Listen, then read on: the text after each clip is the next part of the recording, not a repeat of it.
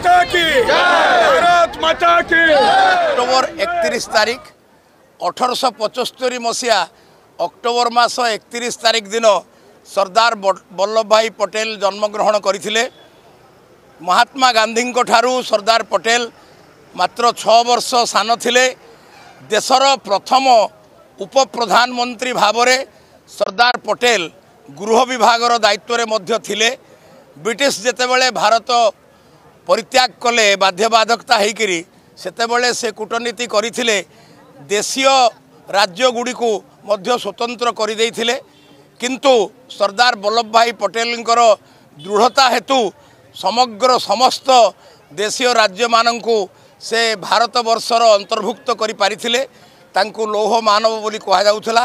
ସେଥିପାଇଁ ବର୍ତ୍ତମାନର ଯଶସ୍ୱୀ ପ୍ରଧାନମନ୍ତ୍ରୀ ଆଜି ସର୍ଦ୍ଦାର ପଟେଲଙ୍କର ଜନ୍ମତିଥିକୁ ଜାତୀୟ ଅଖଣ୍ଡତା ଦିବସ ଭାବରେ ପାଳନ ପୂର୍ବକ ଗଣଦୌଡ଼ର ଆୟୋଜନ କରିବା ପାଇଁ ଆହ୍ୱାନ ଦେଇଥିଲେ।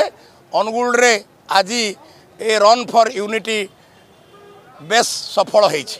ସର୍ଦ୍ଦାର ବଲ୍ଲଭ ଭାଇ ପଟେଲ ଜୟନ୍ତୀ ଅବସରରେ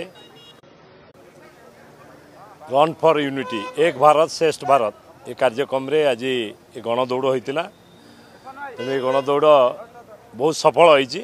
ଆଜି ସମସ୍ତେ ଉତ୍ସାହର ସହିତ ସମସ୍ତ ଆମ ଅନୁଗୁଳ ଯୁବକ ଯୁବତୀ ସମସ୍ତେ ଏ ଗଣଦୌଡ଼ରେ ସାମିଲ ହୋଇଥିଲେ। ଯେ ଦେଶର ଯଶସ୍ୱୀ ପ୍ରଧାନମନ୍ତ୍ରୀ ଆଜି ଯେଉଁ ଡାକରା ଦେଇଛନ୍ତି ସମସ୍ତେ ଏକାଠି ହେଇକି ଗୋଟେ ଗଣଦୌଡ଼ କରିବା ଏବଂ ଭାରତ ଏକ ଭାରତ ଏକ ଶ୍ରେଷ୍ଠ ଭାରତକୁ ଆମେ ଯେଉଁ କାର୍ଯ୍ୟକ୍ରମ ଅଛି ତାକୁ କେମିତି କାର୍ଯ୍ୟକ୍ଷମ ହେବ ବା ସମସ୍ତେ ୟାକୁ ଆହୁରି ଆଗକୁ ନେବା ଦେଶକୁ ସେଥିପାଇଁ ଏ କାର୍ଯ୍ୟକ୍ରମ। ତେଣୁ ଆଜି ସର୍ଦ୍ଦାର ଭାଇ ପଟେଲଙ୍କ ଜନ୍ମଦିନରେ ଏଇ ଯେଉଁ କାର୍ଯ୍ୟକ୍ରମ ମୁଁ ଦେଖୁଥିଲି ଆମେ ମଧ୍ୟ ସମସ୍ତେ ସାମିଲ ଅଛୁ ଏଥିରେ ଯେ ସମସ୍ତଙ୍କର ଯେଉଁ ଉତ୍ସାହ ଥିଲା ଯେ ଭାରତବର୍ଷ ପାଇଁ ତାଙ୍କୁ ସମସ୍ତଙ୍କୁ ଅଭିନନ୍ଦନ ଜଣାଉଛି। ତେଣୁ ସର୍ଦ୍ଦାର ଭାଇ ବଲ୍ଲଭ ପଟେଲଙ୍କ ଜନ୍ମଦିନରେ ଏତିକି କହିବି ତାଙ୍କର ଅମର ଆତ୍ମା ଭଗବାନ ଜଗନ୍ନାଥ ମା ବୁଢ଼ୀ ଠାକୁରାଣୀ ସଦ୍ଗତ ଦିଅନ୍ତୁ ଏବଂ ଆମ ଦେଶ ପାଇଁ ଯେଉଁ କାର୍ଯ୍ୟକ୍ରମ ସେ କରିକି ଯାଇଛି ଆମେ ସେଇ ଆଦର୍ଶରେ ପୁଣି ଆଗକୁ ଯିବା ବୋଲି ମୋର ଆଶା ଓ ବିଶ୍ୱାସ। शताब्दी के इस उपलक्ष्य में रन फॉर यूनिटी कार्यक्रम, विकास फाउंडेशन नेहरूबा केंद्र संगठन और एनएसएस के सहयोग से आज अंगुल में जगन्नाथ मंदिर में, प्रांगण में किया गया।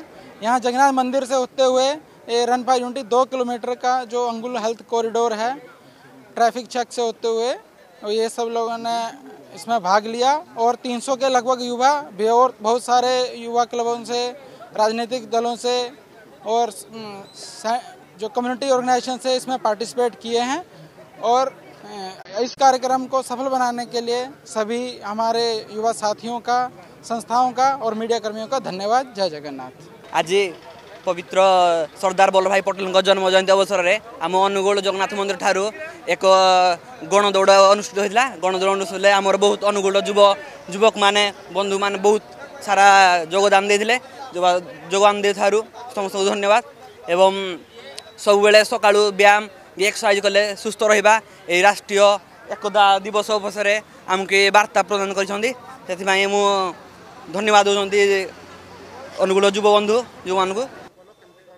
ଆଜି ହେଉଛି ରାଷ୍ଟ୍ରୀୟ ରାଷ୍ଟ୍ରୀୟ ଏକତା ଦିବସ। ସେଥିପାଇଁ ସବୁ ଅନୁଗୁଳର ସବୁ ଲୋକମାନେ ମିଶିକି ଏକ ଭାରତ ଶ୍ରେଷ୍ଠ ଭାରତ କରି ଗୋଟେ ରନ୍ ଫର୍ ୟୁନିଟ୍ର ଗୋଟେ স্মল ম্যারাথন হল মিনি ম্যারাথন সেথির সমস্তে দৌড়িলু বহুত খুশি লাগিলা যাকি আমার ফিটনেস পাই বি ভালো রহব দেহ স্বাস্থ্য রহব কোণী ডিজিজ হব না যদি আপনার আম ভিডিওটি ভালো লাগিলা তেবে আম চ্যানেলকে লাইক শেয়ার ও সবসক্রাইব করা জমা বি ভুলতু না